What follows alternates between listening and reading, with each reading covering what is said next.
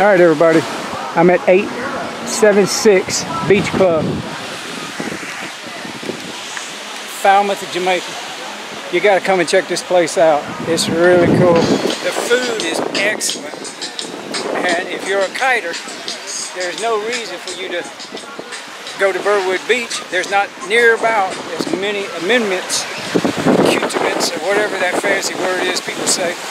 But they have the restrooms, they have the food, they have the cold beer, they got everything you want. And you can launch your kite, you can launch your kite from right over there. As you can see, there's a guy right out there getting a lesson. If you're an expert kiter, you can kite here. If you're a beginner, you can kite here. If you come with friends, you can kite here. This is a user-friendly beach.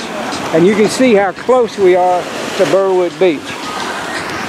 So there shouldn't be anything stopping you now. You got to check out this place, the Beach Club, 876 Beach Club. Look it up. Check out their TripAdvisor page. You got to come.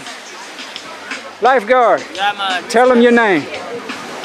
Tell them your name. You're on I'm- camera. Yeah, man. I'm Kamar, man.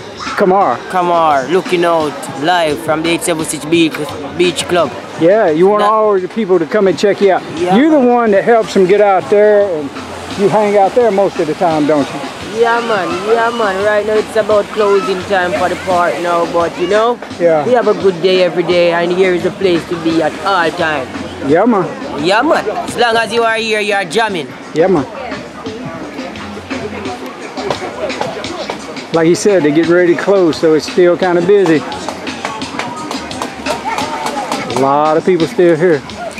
A few moments later. As you can see, I got the jerk chicken today, and it's good. So if you come to 876, you got to get the jerk chicken. It's right on time. It tastes great.